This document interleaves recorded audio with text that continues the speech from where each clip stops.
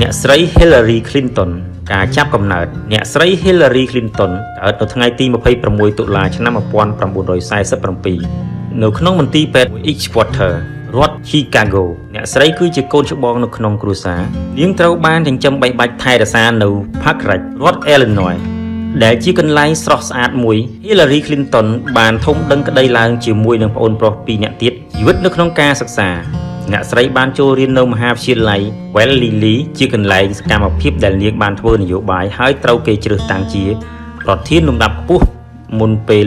បញ្ចប់ការសិក្សានៅក្នុងឆ្នាំ1969បន្ទាប់មកនាងបានបន្តរៀននៅសាលាច្បាប់មួយនៅ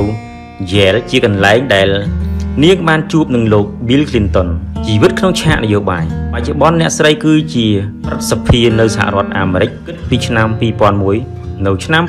2009លោកស្រីបានរៀបការជាមួយនឹងអតីតប្រធានាធិបតីអាមេរិកគឺលោក Bill Clinton នៅពេលស្វាមីរបស់អ្នកស្រីជាប្រធានាធិបតីអ្នកស្រីជាស្ត្រីទី1ដែលមានឈរឈ្មោះជាតំណាងរាស្ត្រនៅអាមេរិកឆ្នាំ2009ដើម្បីក្លាយជាប្រធានាធិបតីថ្មី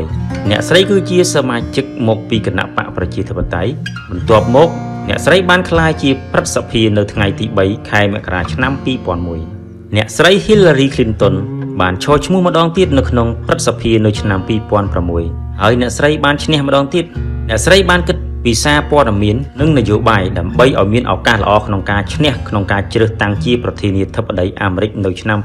2008របស់គណៈបកប្រជាធិបតេយ្យប៉ុន្តែអ្នកស្រី Hillary Clinton បានចាញ់លោក Barack Obama